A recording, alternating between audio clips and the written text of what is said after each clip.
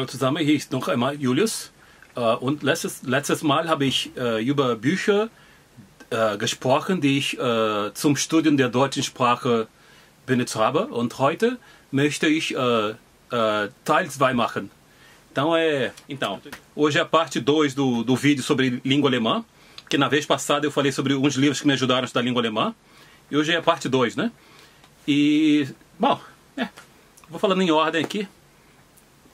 E o primeiro livro que, que eu usei, que no vídeo foram, foram muitos livros, então eu resolvi fazer essa parte para explicar esses livros, né? Então, o primeiro livro que eu usei, é, de, depois da, da formação da faculdade, né? Praticamente, né? Ah, isso foi ainda quando eu estava estudando no FJ. Quando eu morei em Okinawa, eu vi que já era fluente em alemão. Eu, eu devia estar no nível B1 ou B2 quase, né?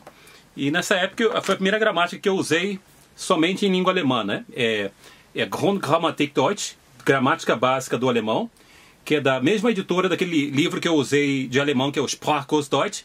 Se você não viu o, o, o livro que eu estou me referindo, ele vai estar aqui em algum lugar no, no, no topo, né, para você ver. Então foi a primeira vez que eu estudei gramática alemã somente em alemão, né? Explicação totalmente em alemão. E isso é uma coisa boa porque já faz com que a gente se acostume com o idioma, né? Então nessa época, já é 94 isso aqui, né? Ou seja, depois de. Eu entrei em 99 na faculdade, né? É, para fazer alemão. Então é. 99.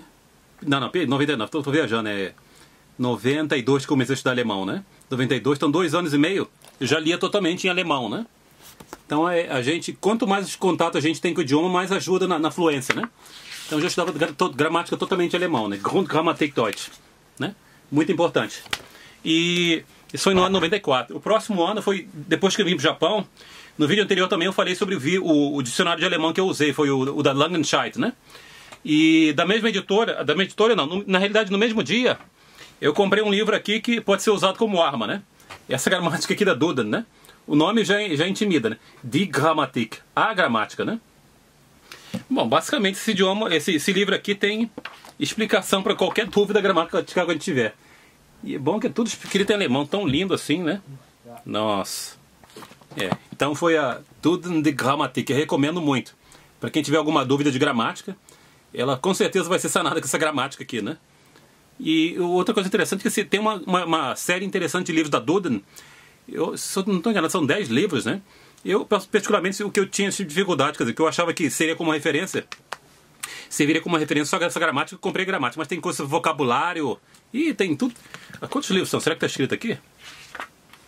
São, perdão, são 12, 12 fascículos, né? Dos quais eu acho que interessante é o 4, que é o gramática, né?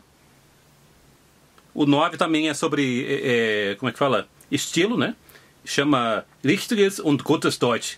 É alemão correto e bom, né? É, e o 12 também é interessante, que é sobre provérbios, né? Zitate und Aussprüche. Citados e, e- e provérbios, né? Aussprüche. 1 também interessante, que é escrever é de ortografia, Rechtschreiben. Tá aqui a, a, a explicação do- dos 12, dá pra ver aqui? São 12, 12, né? Se tiver interesse, né? Então são 12, 12 fac- eh, volumes no geral dessa série aqui da, do Doda, né? 99 e conforme falei no vídeo anterior, eu tenho, eu tenho que tô devendo para vocês mostrar o certificado, mas eu fiz certificado Z, é o ZDAF, né, que é certificado de alemão como língua estrangeira, certificado Deutsch als Fremdsprache, ZD, ZDAF. Depois eu fiz o ZMP, Zentrale Mittelstufen Prüfung, Prüfen, e depois desse, desse é, certificado tem um que é chamado. Agora ele não existe mais. O, o- acho que o certificado mais avançado de alemão chama GDS Grosses Diplom der Deutschen Sprache Grande diploma da, da, da, língua, da, da língua alemã. Mas em 2003 também, presenteado por um amigo, eu pensei em fazer essa prova aqui que era. Não existe, acho que não existe mais, né? KDS Kleines Deutsches, Deutsches, Deutsches, Sprachdiplom. Então um amigo me deu essa coleção aqui de três fascículos, né? Que, é, isso aqui mostra as divisões da prova. Primeiro, volume 1 é Bindlichen Prüfen und Diktat, quer dizer, prova é, é, oral e ditado, né? O volume 2 é Ausdrucksfähigkeit und Texterklärung, ou seja, é, habilidade de, de, de expressão, né? E explicação do texto, né? E são, a terceira parte da, da, da do, do, texto do, da prova é lecture, ou, se, ou seja, leitura. E a qual a leitura se refere? No caso, é, é, como parte da prova a gente tem que ler alguns livros e expressar nossa opinião claramente, né? Eu lembro que na, nessa época, foi em 2013, eu estava com muita vontade de fazer o, o, o, essa prova. Interessantemente, também eu ganhei um material de, do ex-diretor do, do Goethe Instituto Rio de Janeiro, Sr. Zawa. Ele estava no Japão na época, um, um, tempo atrás eu tinha encontrado, ele também me deu um material sobre essa, para essa prova, né?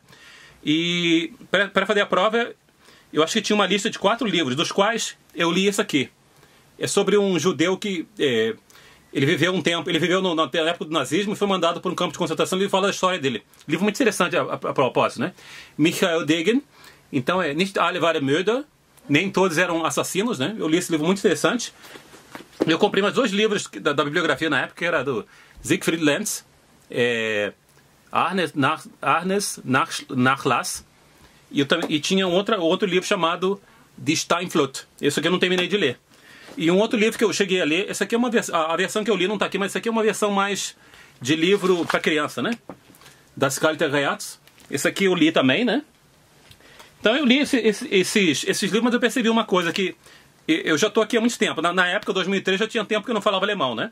Então eu não, não vi sentido em fazer estudar só por uma prova de idioma que eu praticamente não uso. Então eu, eu acabei não, não fazendo a prova, mas eu estudei bastante, né? Então é, é a bibliografia que eu estudei em 2003, né? E depois de 2003 que eu fiz, é, na realidade, quando eu estava morando lá pro lado de Tóquio, né? É, eu resolvi comprar um material que eu usava assim, na época. Foi depois que eu fiz o curso lá em Tóquio, em 2004. Eu comprei um livro que eu acho que na época eu usava no, no avançado do, do Goethe. É esse livro aqui, Auf Neuen Wegen. É o livro do avançado, né? Ele, infelizmente ele não está escrito aqui. Ah, não, isso aqui é. É, mas é já avançado, porque ele fala que é um livro para preparação para o ZMP Testes DAF são outros testes de alemão que eu não conheço. Mas o que eu passei já do 7NP, mas mesmo assim o nível é bom, né? A nível de, de, de, por exemplo, de revisão, então eu terminei, eu fiz esse livro todo, né? Fiz praticamente todos os exercícios, li o livro todo, escutei o, o CD dele, então foi, foi bastante bom para dar uma reativada no meu alemão, que já estava parado há bastante tempo, né?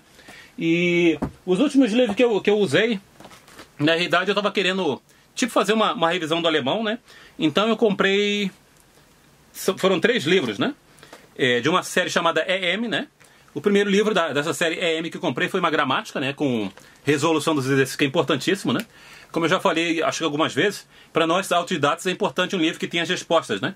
Como, por exemplo, o livro que eu apresentei anteriormente, eu fazia os exercícios e eu podia ver o meu, meu progresso, né?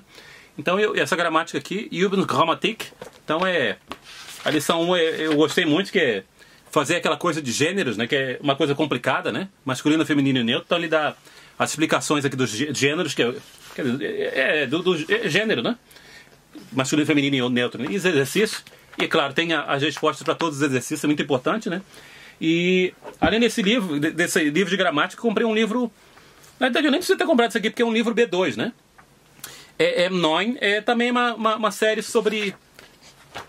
Porque, na realidade, depois que chega no, no, no intermediário avançado, não tem muito para aprender, então a gente fica lendo sobre vários assuntos para pegar vocabulário. Então foi o que eu fiz aqui, comecei a ler, mas é, já que eu não uso alemão, eu perdi a motivação de continuar o livro. Acho que eu fiz uma, duas lições e depois eu parei de estudar, né?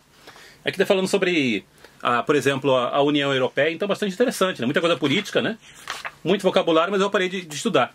Eu acho que eu comecei a fazer o primeiro volume o segundo volume nem cheguei a fazer, né? Então é, é, é, Bom, vídeo curto, mas basicamente foi essa bibliografia que eu estudei. Esse, esses livros, mais os outros que eu apresentei, foram a base do meu alemão, né? Que, como eu falei, baseado no certificado que eu tenho, ZMP, meu livro é C1. Porém, eu acho que em questão de conversação deve estar em B2, porque eu não falo com alemão em ninguém. Ainda que eu não tenha dificuldade nenhuma para entender noticiário, é claro que tem coisa que eu não entendo, não porque eu não entendo de um, mas porque eu não entendo do assunto, né? Então, quando a, a, a, conversa começa a ficar muito política, muito econômica, eu não entendo, porque eu não, eu não sei disso, falar disso nem em português, né? Mas, no geral, é... Eu acho que o meu alemão ainda é, é avançado, né? C1 entendo o que eu preciso, né? Se, por exemplo, eu tiver que trabalhar na Alemanha e me oferecerem uma, uma oportunidade para a Alemanha, eu vou para lá. Eu, por exemplo, recentemente, ainda recentemente, eu mando currículo para a Alemanha, eu me comunico com os recrutadores, leio a explicação do, das, das ofertas de trabalho, não tem problema nenhum para ler nada em alemão, né? É, mas isso aí é, é... Então, antes de terminar o vídeo, eu gostaria de agradecer por você ter assistido esses dois vídeos sobre o material que eu estudei de alemão. Espero que os materiais sirvam de referência para você. E eu gostaria de perguntar o que, que você estudou para. O que você usou para estudar alemão, o que você recomenda. E eu peço para dar um like nesse vídeo, né? Para assinar o canal se você não é assinado, né? E para você não esquecer de ativar os sininhos para quando vier, é, é, material novo. Então, obrigado por ter assistido e até a próxima. Obrigado. Tchau, tchau. Tchau.